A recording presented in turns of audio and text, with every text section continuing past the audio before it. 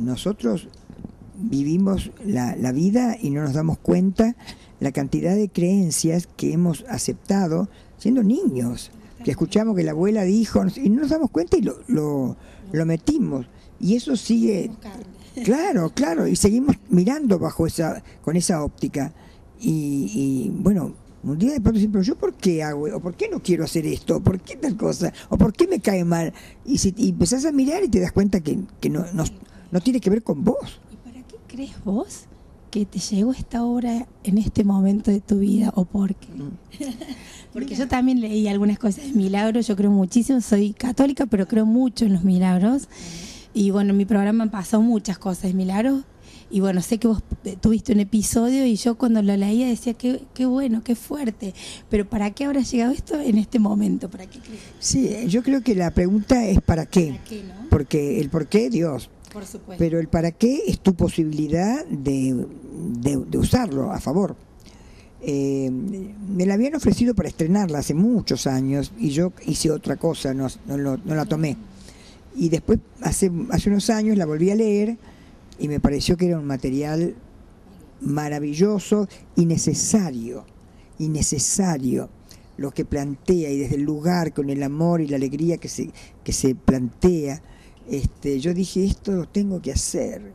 Eh, entonces bueno, hice todo el camino para lograr estrenarlo y bueno, después con Maxi Pita empezamos una gira nacional que empezó en Córdoba, este, que bueno, nos recibieron maravillosamente en el Teatro Real. Tuvimos que, después de dos fines de semana, tuvimos que agregar otra función más y llenamos siempre. Sí, muy bien. Y, y en cada lugar que vamos también tenemos muy buena recepción. Así que, bueno, feliz. Entonces, que sí que no me equivoqué. ¿Qué, ¿Qué, cambia cada día para vos? Porque vos aprendiste a valorar el aquí y el ahora, ¿no? En, bueno, por supuesto, es el equilibrio que uno, bueno, pero hay gente que ni siquiera pasa por esta vida, ni siquiera se entera de, de, que, de que, tiene que vivir el ahora, tratando de dejar el pasado y, y, y no pensar tanto en el futuro, es el, el equilibrio. Pero, ¿qué cambia de, detrás de cada noche, de, eh, como vos como persona?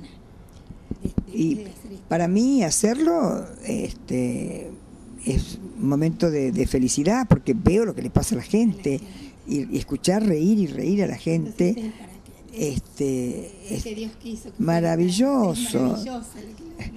pero de verdad vos cuando se, todas las salas se, se ríen y yo tengo que esperar para poder seguir hablando entonces este decís qué bendición y también en los momentos donde hace un silencio porque están emocionados no y bueno, y al final la gente se para y es una ovación, es impresionante. Yo la primera vez en Córdoba, cuando salí a saludar y se paró el teatro, yo me puse a llorar, no podía hablar.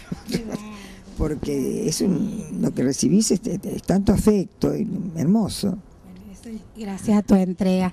Betiana, nuevamente gracias.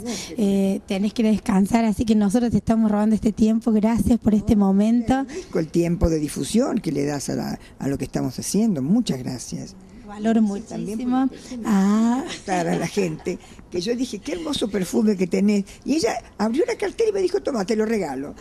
A ustedes bueno, pero es que lo tenés merecido por tanto que has brindado y esta es la vuelta de la vida. Es todo lo que la gente trata de, de devolverte por toda, la, toda tu entrega y toda esa pasión que os pones en cada una de tus presentaciones. Gracias, Betiana. Un cariño de toda la gente de Río Cuarto. Espero que te lleves el mejor recuerdito en tu retina y bueno, eh, gracias por, por esta entrega que has hecho siempre para el teatro y en pos de la cultura en nuestro país. Muchas gracias. gracias amor, muchas gracias. ¿eh?